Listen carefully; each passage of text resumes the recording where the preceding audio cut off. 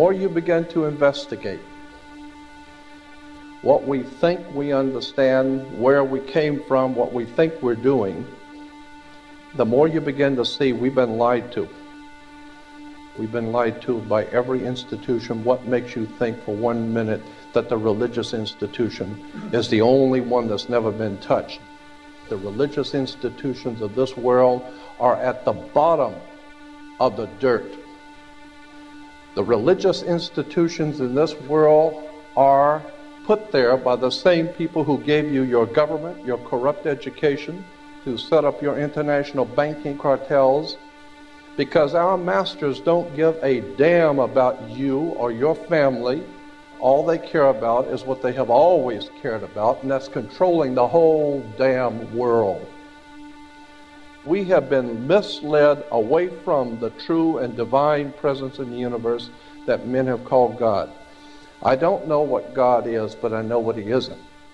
And unless and until you are prepared to look at the whole truth and wherever it may go, whoever it may lead to, if you want to look the other way or if you want to play favorites, then somewhere along the line you're going to find out you're messing with divine justice. The more you educate yourself, the more you understand where things come from, the more obvious things become, and you begin to see lies everywhere. You have to know the truth and seek the truth, and the truth will set you free.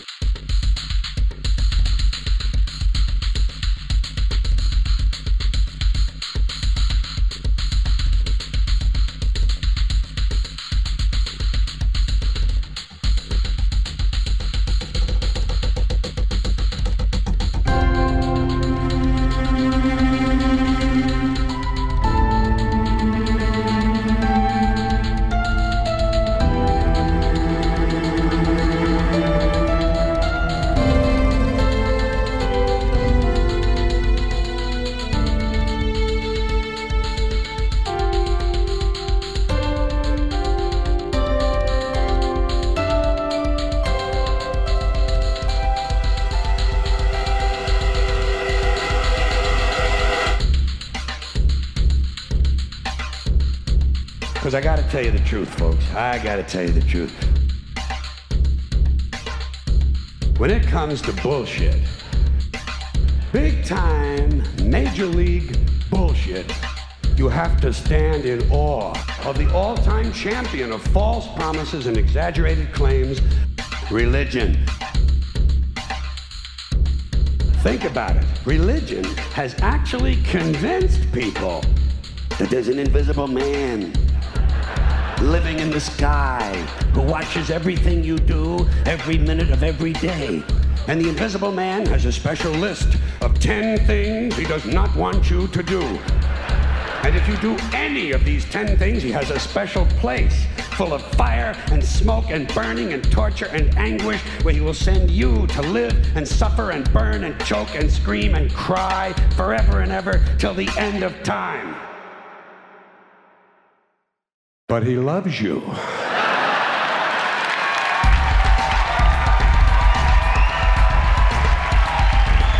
loves you. He loves you and he needs money. He always needs money. He's all powerful, all perfect, all knowing, and all wise. Somehow, just can't handle money. Religion takes in billions of dollars, they pay no taxes, and they always need a little more. Now, you talk about a good bullshit story. Holy shit.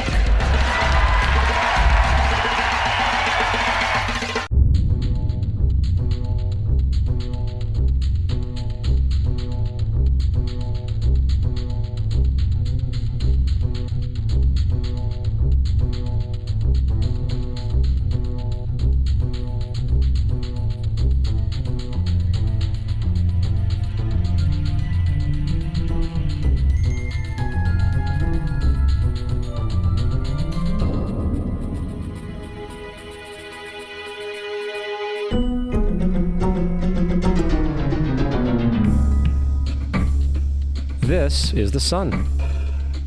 As far back as 10,000 BC, history is abundant with carvings and writings reflecting people's respect and adoration for this object.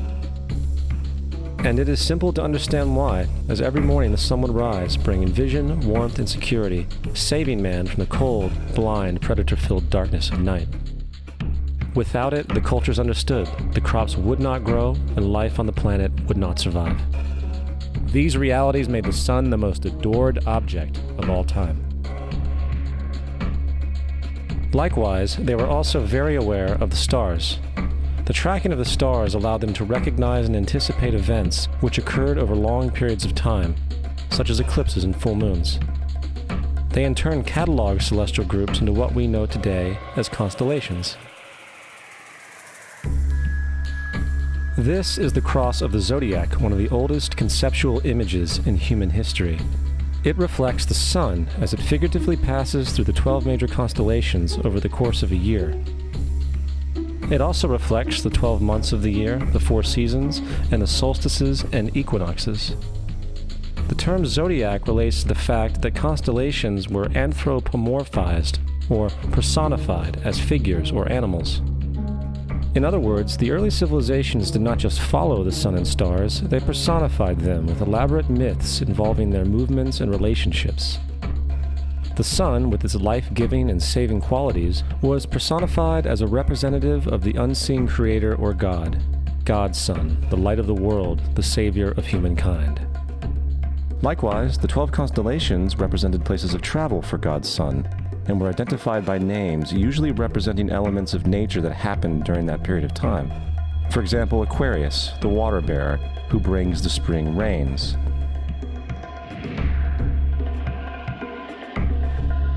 This is Horus. He is the sun god of Egypt of around 3000 BC. He is the sun anthropomorphized, and his life is a series of allegorical myths involving the sun's movement in the sky. From the ancient hieroglyphics in Egypt, we know much about this solar messiah. For instance, Horus, being the sun or the light, had an enemy known as Set, and Set was the personification of the darkness or night. And, metaphorically speaking, every morning Horus would win the battle against Set, while in the evening Set would conquer Horus and send him into the underworld. It is important to note that dark versus light, or good versus evil, is one of the most ubiquitous mythological dualities ever known, and is still expressed on many levels to this day. Broadly speaking, the story of Horus is as follows. Horus was born on December 25th of the Virgin Isis Mary.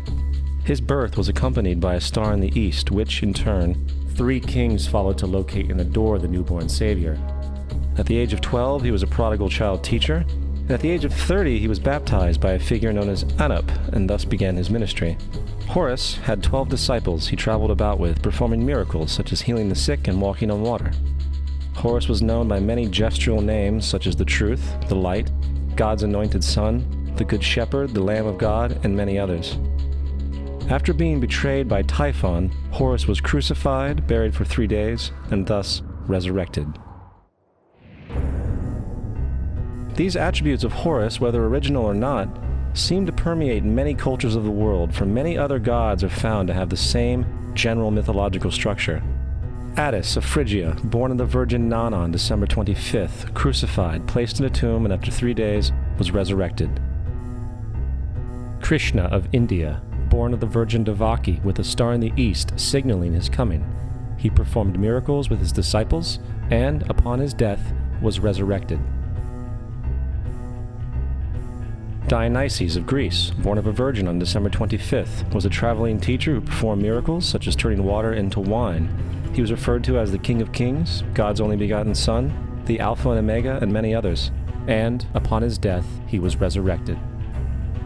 Mithra of Persia, born of a virgin on December 25th, he had twelve disciples and performed miracles, and upon his death was buried for three days and thus resurrected. He was also referred to as the Truth, the Light, and many others. Interestingly, the sacred day of worship of Mithra was Sunday, The fact of the matter is, there are numerous saviors from different periods from all over the world which subscribe to these general characteristics. The question remains why these attributes? Why the virgin birth on December 25th? Why dead for three days in the inevitable resurrection? Why 12 disciples or followers? To find out, let's examine the most recent of the solar messiahs. Jesus Christ was born of the Virgin Mary on December 25th in Bethlehem. His birth was announced by a star in the east, which three kings or magi followed to locate and adorn the new Savior. He was a child teacher at 12. and At the age of 30, he was baptized by John the Baptist, and thus began his ministry. Jesus had 12 disciples, which he traveled about with, performing miracles such as healing the sick, walking on water, raising the dead. He was also known as the King of Kings, the Son of God, the Light of the World, the Alpha and Omega, the Lamb of God, and many, many others. After being betrayed by his disciple Judas and sold for 30 pieces of silver, he was crucified, placed in a tomb, and after three days was resurrected and ascended into heaven. First of all, the birth sequence is completely astrological.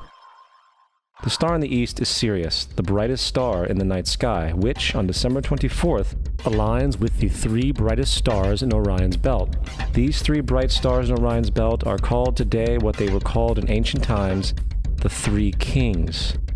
And the Three Kings and the brightest star, Sirius, all point to the place of the sunrise on December 25th. This is why the Three Kings follow the star in the east, in order to locate the sunrise the birth of the sun.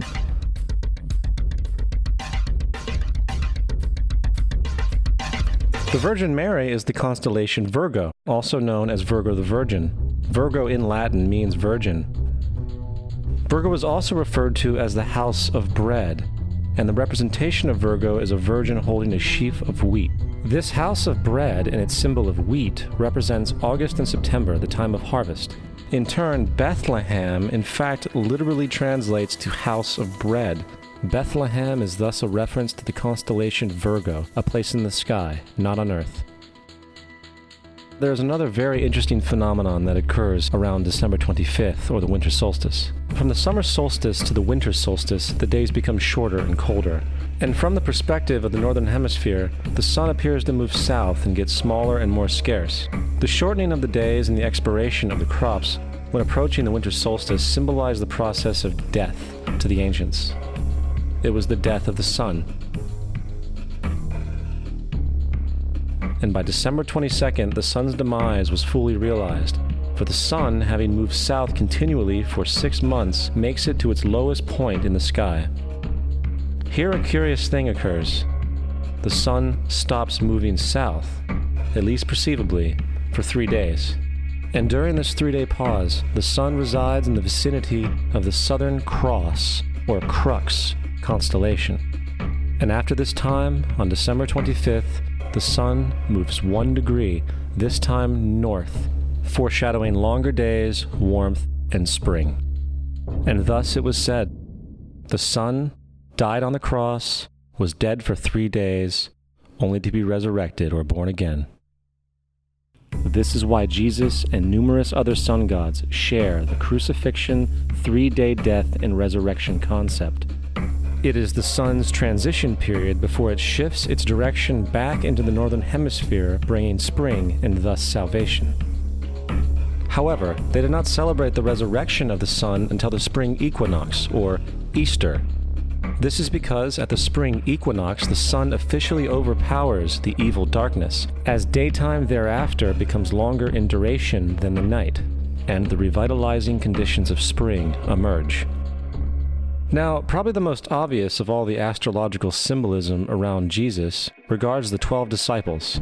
They are simply the 12 constellations of the zodiac, which Jesus, being the sun, travels about with. In fact, the number 12 is replete throughout the Bible.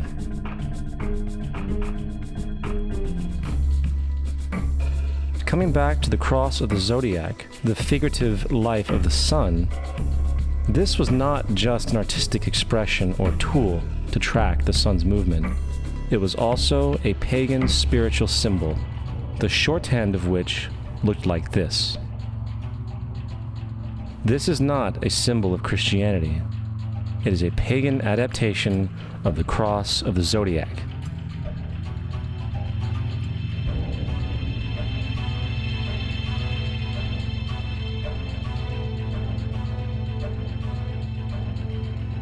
This is why Jesus in early occult art is always shown with his head on the cross, for Jesus is the Son, the Son of God, the light of the world, the risen Savior who will come again, as it does every morning.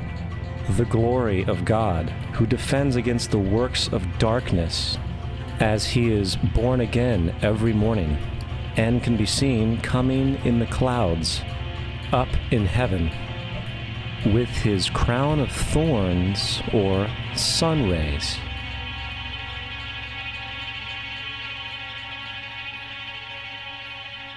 Now, of the many astrological, astronomical metaphors in the Bible, one of the most important has to do with the ages. Throughout the scriptures, there are numerous references to the age. In order to understand this, we need to be familiar with a phenomenon known as the precession of the equinoxes. The ancient Egyptians, along with cultures long before them, recognized that approximately every 2150 years, the sunrise on the morning of the spring equinox would occur in a different sign of the zodiac.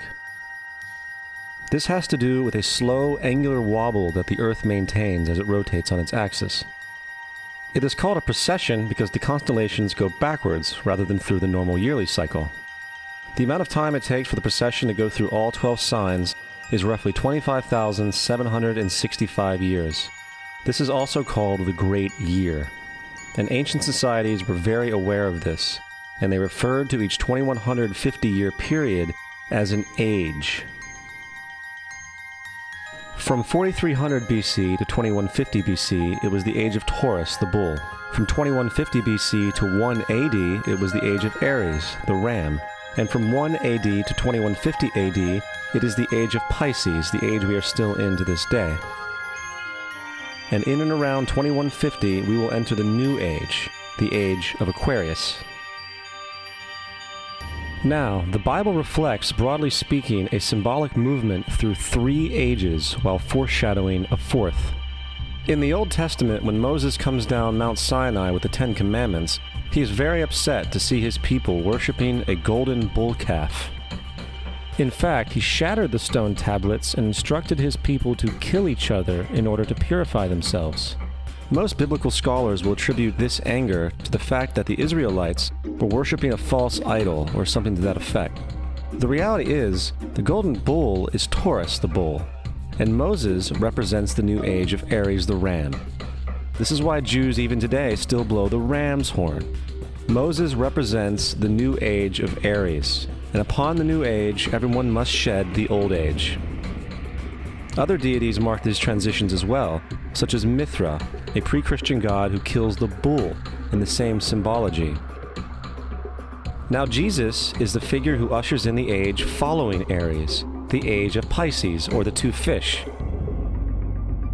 Fish symbolism is very abundant in the New Testament. Jesus feeds 5,000 people with bread and two fish. When he begins his ministry walking along Galilee, he befriends two fishermen who follow him.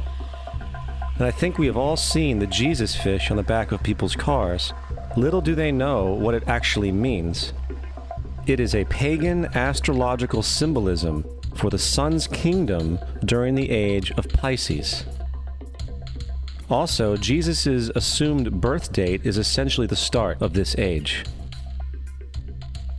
At Luke 22:10, when Jesus is asked by his disciples where the next Passover will be after he is gone, Jesus replies, Behold, when ye are entered into the city, there shall a man meet you, bearing a pitcher of water. Follow him into the house where he entereth in. This scripture is by far one of the most revealing of all the astrological references. The man bearing the pitcher of water is Aquarius, the water bearer, who is always pictured as a man pouring out a pitcher of water. He represents the age after Pisces, and when the Son, God's Son, leaves the age of Pisces, Jesus, it will go into the house of Aquarius, as Aquarius follows Pisces in the precession of the equinoxes. All Jesus is saying is that after the age of Pisces will come the age of Aquarius.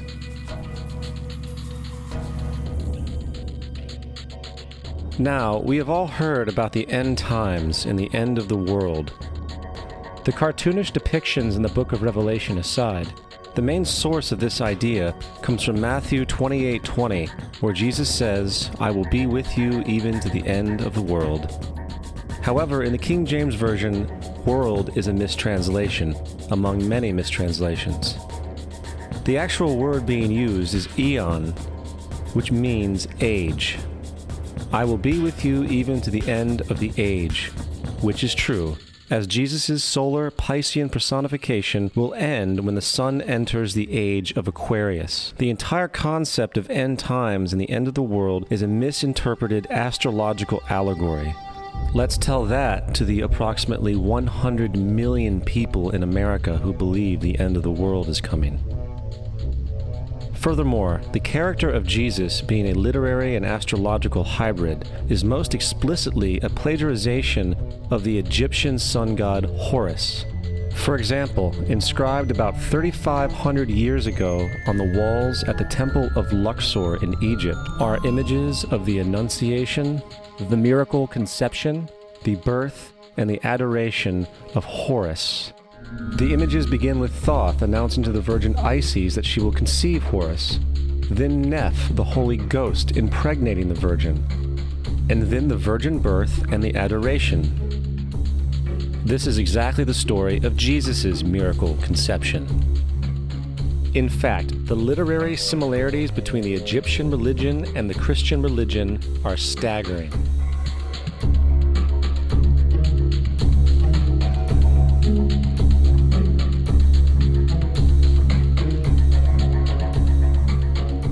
Plagiarism is continuous.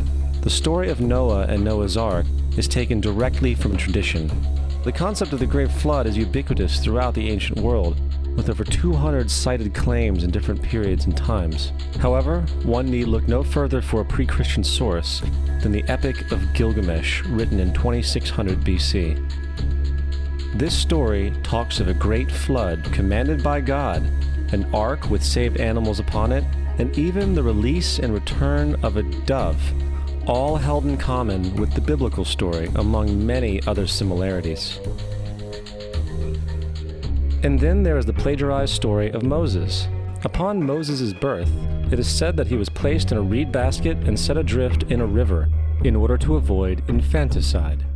He was later rescued by a daughter of royalty and raised by her as a prince. This baby in a basket story was lifted directly from the myth of Sargon of Akkad of around 2250 BC. Sargon was born, placed in a reed basket in order to avoid infanticide, and set adrift in a river. He was in turn rescued and raised by Akki, a royal midwife. Furthermore, Moses is known as the lawgiver, the giver of the Ten Commandments, the Mosaic Law. However, the idea of a law being passed from God to a prophet up on a mountain is also a very old motif. Moses is just another lawgiver in a long line of lawgivers in mythological history. In India, Manu was the great lawgiver. In Crete, Minos ascended Mount Dicta, where Zeus gave him the sacred laws, while in Egypt there was Meses, who carried stone tablets and upon them the laws of God were written. Manu, Minos, Meses, Moses. And as far as the Ten Commandments, they are taken outright from spell 125 in the Egyptian Book of the Dead. What the Book of the Dead phrased, I have not stolen, became, Thou shalt not steal. I have not killed, became, Thou shalt not kill. I have not told lies, became, Thou shalt not bear false witness, and so forth. In fact, the Egyptian religion is likely the primary foundational basis for the Judeo Christian theology. Baptism, afterlife, final judgment, virgin birth, death and resurrection, crucifixion, the Ark of the Covenant, circumcision, saviors, Holy Communion, Great Flood, Easter, Christmas, Passover, and many, many more are all attributes of Egyptian ideas long predating Christianity and Judaism. Justin Martyr, one of the first Christian historians and defenders, wrote When we say that he, Jesus Christ, our teacher, was produced without sexual union, was crucified and died and rose again and ascended into heaven, we propound nothing different from what you believe regarding those who you esteem sons of Jupiter. In a different writing, Justin Martyr said, He was born of a virgin, except this in common with what you believe of Perseus. It's obvious that Justin and other early Christians knew how similar Christianity was to the pagan religions. However, Justin had a solution. As far as he was concerned, the devil did it. The devil had the foresight to come before Christ and create his characteristics in the pagan world.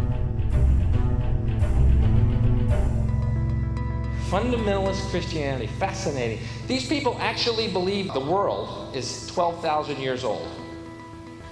Swear to God. I actually asked one of these guys, okay, dinosaur fossils. He says, dinosaur fossils? God put those here to test our faith.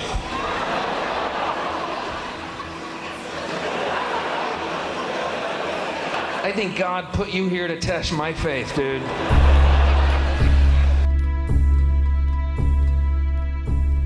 Bible is nothing more than an astrotheological literary hybrid, just like nearly all religious myths before it.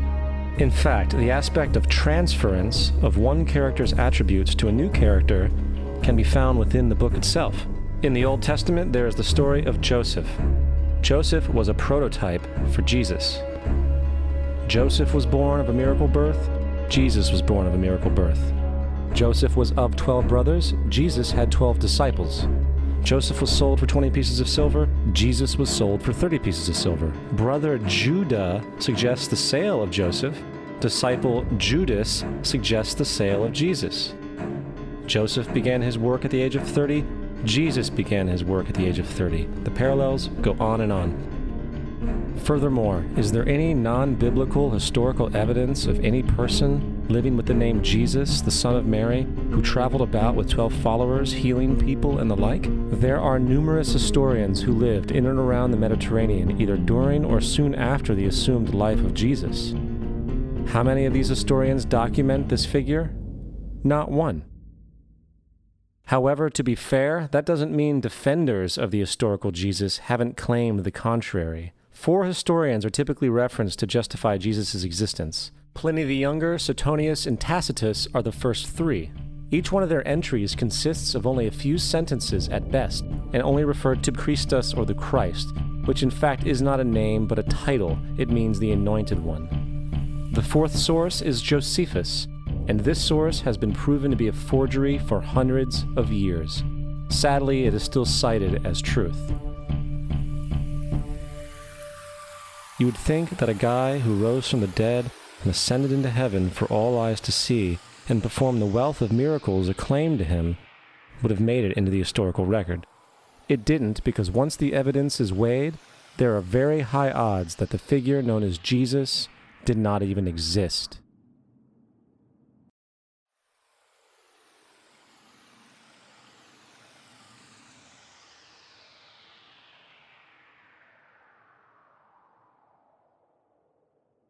We don't want to be unkind, but we want to be factual. We don't want to cause hurt feelings, but we want to be academically correct in what we understand and know to be true. Christianity just is not based on truth. We find that Christianity was in fact nothing more than a Roman story developed politically the reality is, Jesus was the solar deity of the Gnostic Christian sect. And like all other pagan gods, he was a mythical figure. It was the political establishment that sought to historize the Jesus figure for social control. By 325 AD in Rome, Emperor Constantine convened the Council of Nicaea. It was during this meeting that the politically motivated Christian doctrines were established and thus began a long history of Christian bloodshed and spiritual fraud. And for the next 1600 years, the Vatican maintained a political stranglehold on all of Europe, leading to such joyous periods as the Dark Ages, along with enlightening events such as the Crusades and the Inquisition.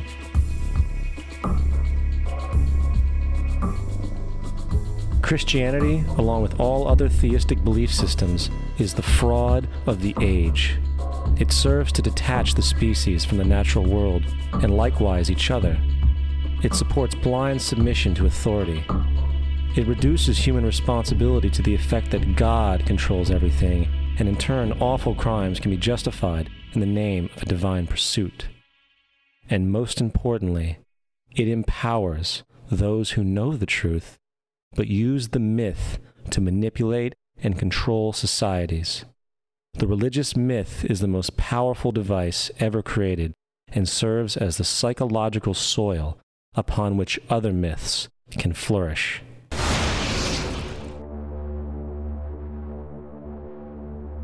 A myth is an idea that, while widely believed, is false.